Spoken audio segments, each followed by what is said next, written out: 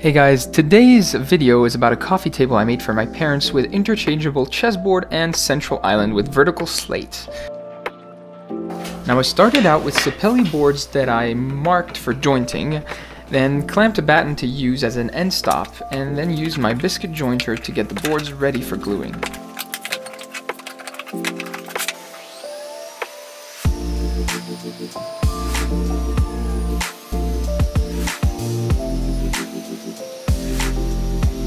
The next step was to add some glue, spread it, and add the biscuits, and then clamp the boards all together.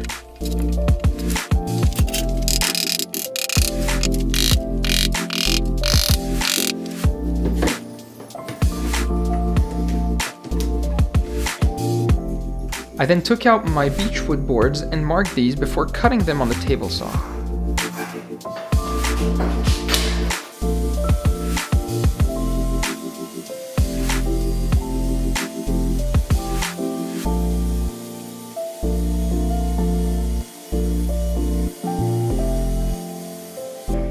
Next step was to align everything and mark the places where I would join the wood using my biscuit jointer again. These are the same steps as for the central island I started making earlier.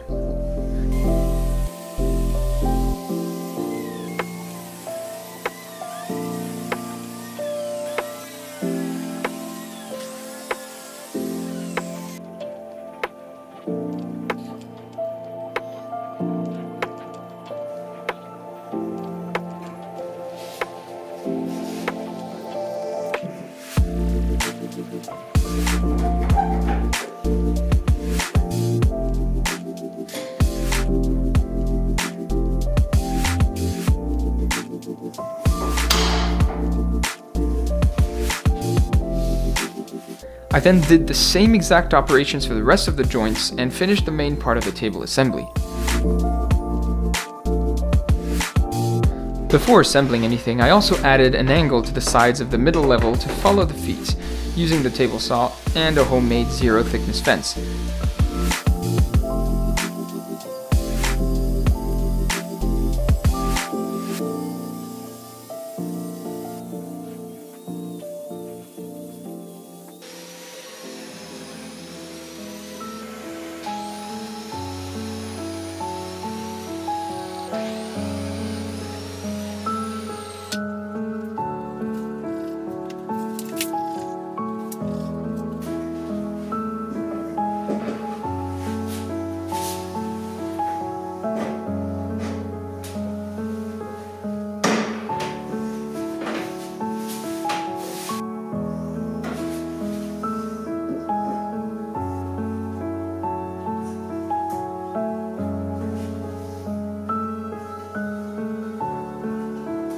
I then did the same for the bottom of the table, glued everything and assembled the rest before sanding for a very long time to get everything nice and smooth.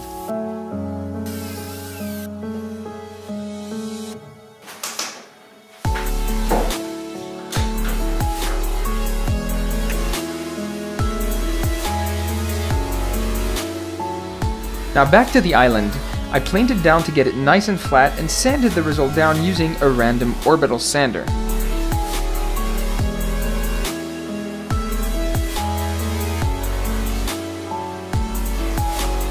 I then disposed all the slate rocks and traced their outlines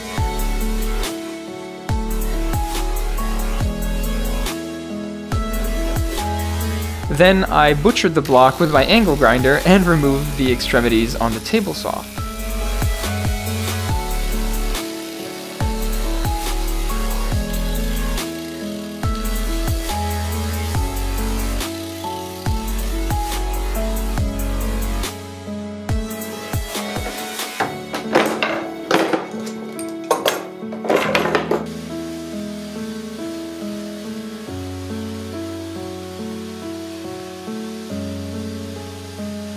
I also added chamfers on the bottom edges to get a cool floating look on the island.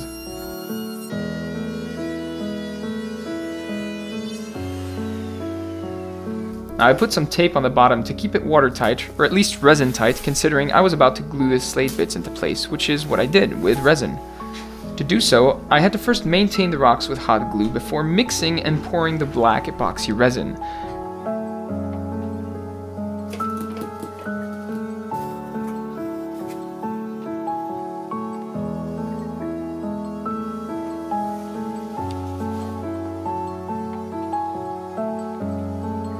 Using a 3D printed screw adapter, I finally sanded down the surface of the island.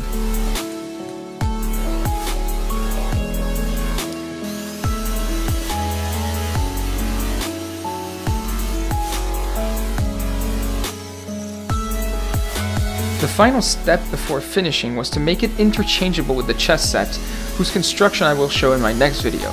For this I added inserts for M8 screws in the wood using a simple drill and screwdriver and I also added epoxy just to be sure it would never move. Naturally I also made passage holes for the screws on the coffee table. Now one final structural touch-up I did was to make sure the table wouldn't move over time and I added reinforcements below the tabletop.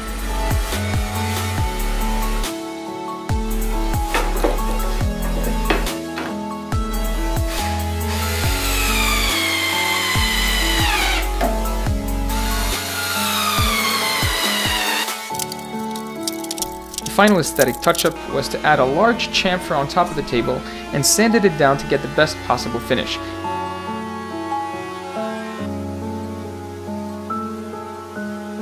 I did the same with every single edge of the table.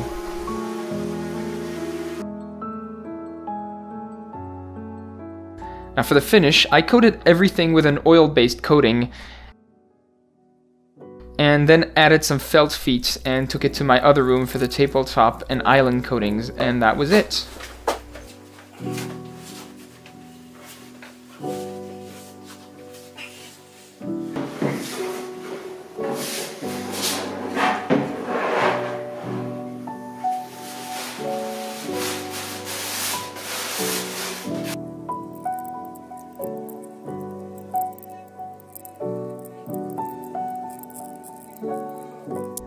So this is the final result with a hand-carved gold-plated chess set that I will make another video about quite soon.